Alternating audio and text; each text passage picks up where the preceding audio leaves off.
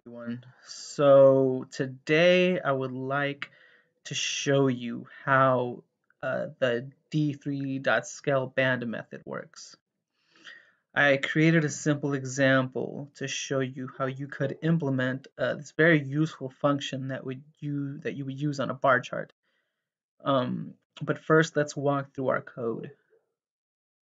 So here we have a variable called data data is an array and it contains objects, each with a name and height keys. And basically, the height, the objects are the tallest buildings in the world. That's what they represent. And we have the name of the tower and how tall the tower is. Okay, down here we create another vari variable, SVG, and it's selecting our SVG chart here. We also have a little bit of CSS and this is giving the SVG the SVG its height and width each set to 500 pixels and the background color to pink. Okay, so and I know this isn't the way most people do it. This is just an example on on how uh, band scale would, would work. Or scale band would work, I'm sorry. So then we have our variable x array And x array is, is a new array that is returned from this data.map function. And it's returning an array of our of all the names we have on in our data in our data variable.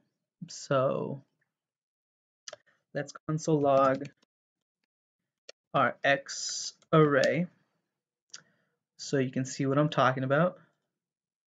Let's see console log and you can see we have an array down here.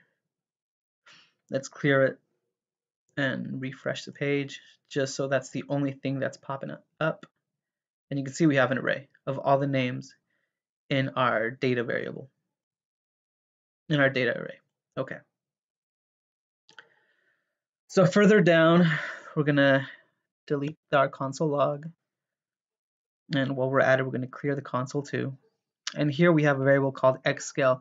And here we're putting to use our the method d3.scaleband.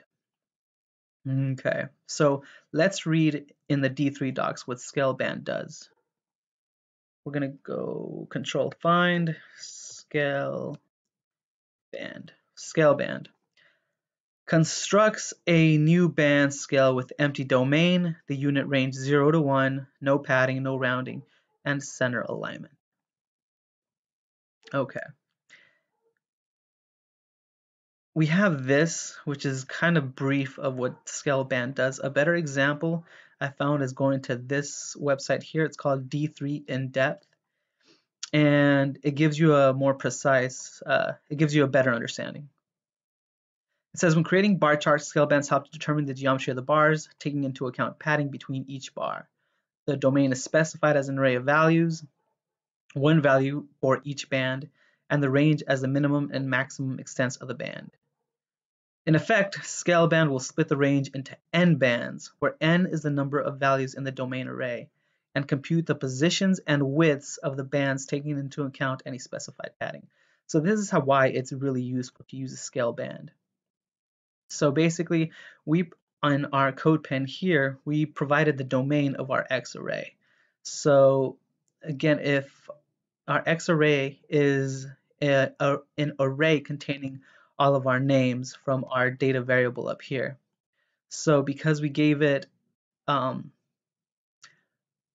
we gave it our domain an array, it can now Scaleband will now be able to compute the positions and widths of the bands, taking into account any specified padding. So that's very useful.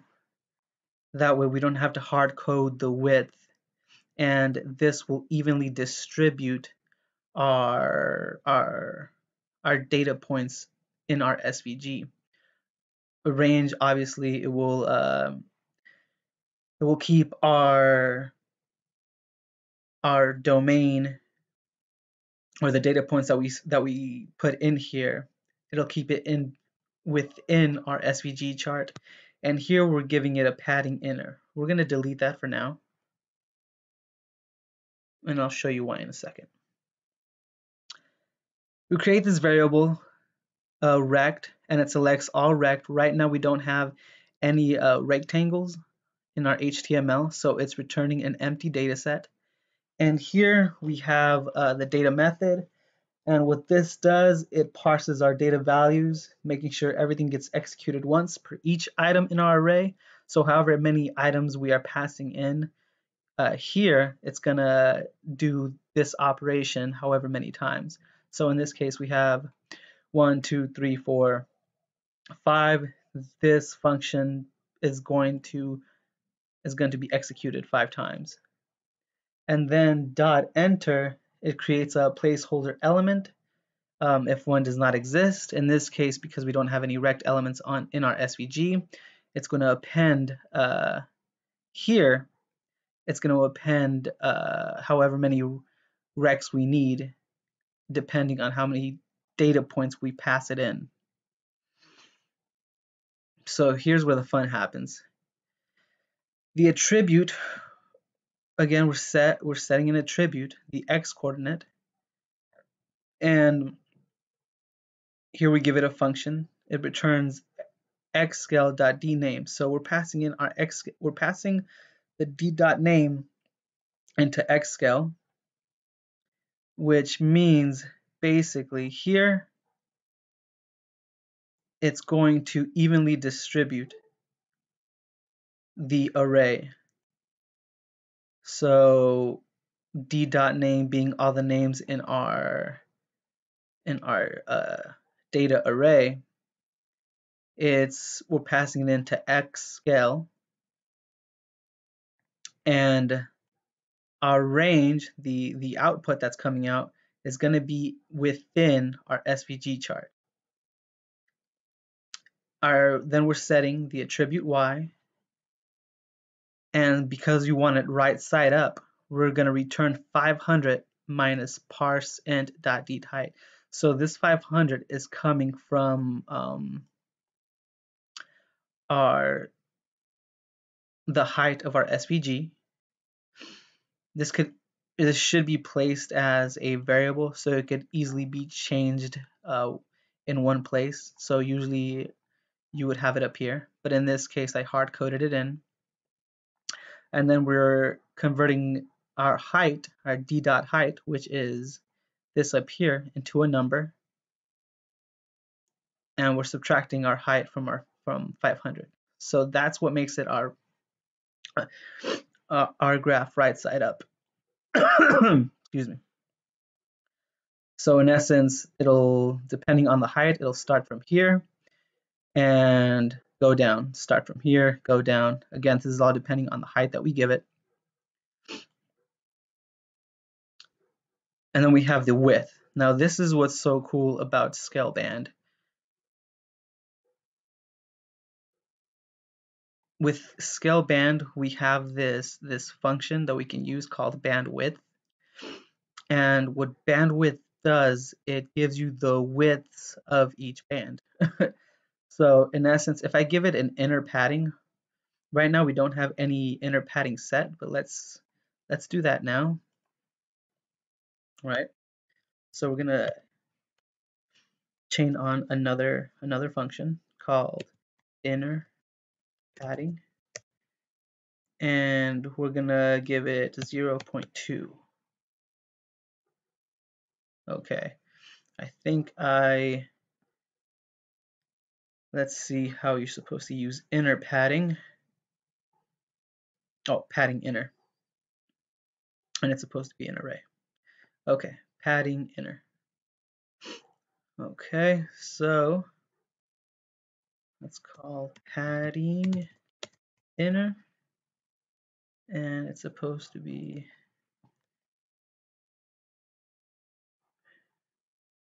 there you go, 0.2 and you can see that the width of our rectangles changed based on the inner padding that we gave it. So we can increase that to show you what I'm to give you more of an example, let's increase it to a 0.9.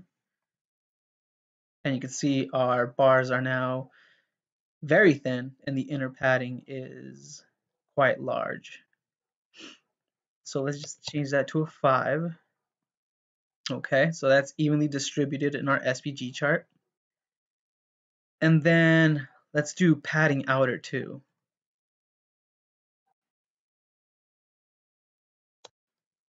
Padding outer, give it an array, 0.2. And you can see we have this padding outside now. And again, our the width of each rectangle is is being resized depending on the padding we give it. So we're going to put 0.6 and you see our bars went got a little bit thinner again as we increased the size of the padding outside of the bars. And for the last one we have a attribute, the height attribute, which again is specifying how tall these bars should be. Now I know this is going to seem kind of dumb, or at least it did to me. Uh, it took me a, a, quite a while to figure this out.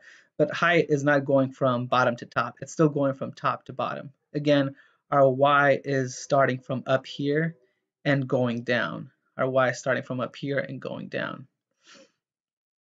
So just keep that in mind that we reversed it here, right, by subtracting it, or subtracting the height of our SVG and then subtracting the uh, height, our d dot height data point that we're getting from the dat from the data variable here, and then we're setting it here.